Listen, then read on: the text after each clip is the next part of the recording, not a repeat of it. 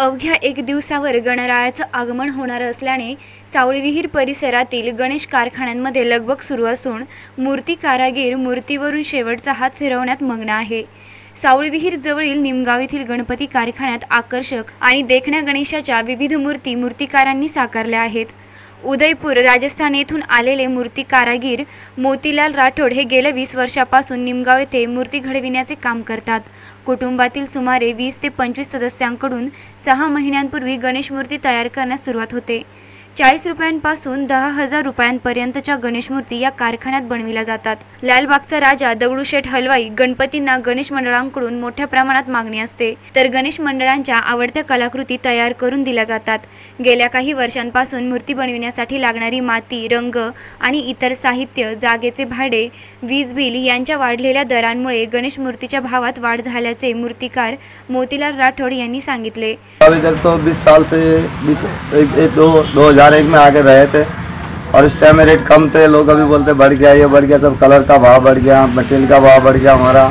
अभी जो आदमी का साथ लेके आते हैं, वहाँ से हमारा एक लोगों का पकार रहता है, किसी को दस हज़ार, किसी सात हज़ार, किसी बीस हज़ार, ऐसा पकार के हिसाब से हम साल ले आते हैं। फिर उसको भी निकालते हैं इसमें ठीक है, हमको भी साल में मिल जाता है गाय दस, बीस हज़ार रुपये मिला तो मिला अभी। फिर सात महीनों से हम काम करते हैं इसमें पीओपी के अंदर।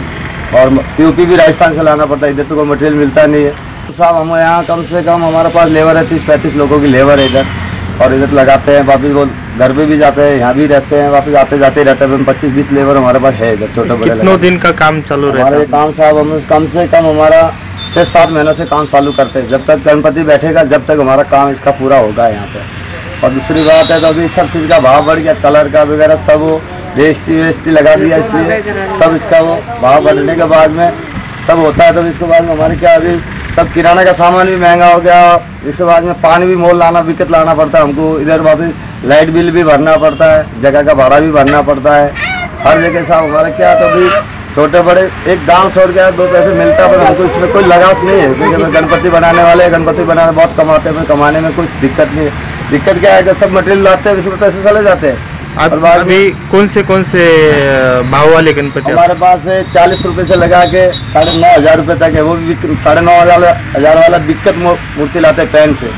और छोटे छोटे हमारे खुद हम खुद बनाते हैं। ये मिट्टी कौन सी पीओपी का मूर्ति भी रहता है और खजा मिट्टी भी इसमें मिक्स मिक्स करना पड़ता है। खाली पीओपी नहीं रहता है मिट्टी पीओपी और खजा मिट्टी दोनों मिक्स करके बनाते हैं तो इसलिए वो मूर्ति टिकती है। मिट्टी का बनाएँगे तो इतना बड़ा बड़ा मूर्ति नहीं टिक पाएगा ना।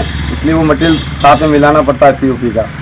और लोग कौन सी मूर्ति ज़्यादा लेते हैं? ज़्यादा तो लाल बाग का है इधर डगड़ू का है ऐसा मूर्ति मूर्ति का अलग अलग नाम से साथ में मूर्ति का नाम रहता है। और इसके बाद में अपना जैसे नई क्वालिटी निकला तो हम सा, हर साल ही नया क्वालिटी लाते हैं। ऐसा नहीं कि हमारा पिछले साल का माल रह गया दूसरा तो और ये एक ही साल संभाल दे।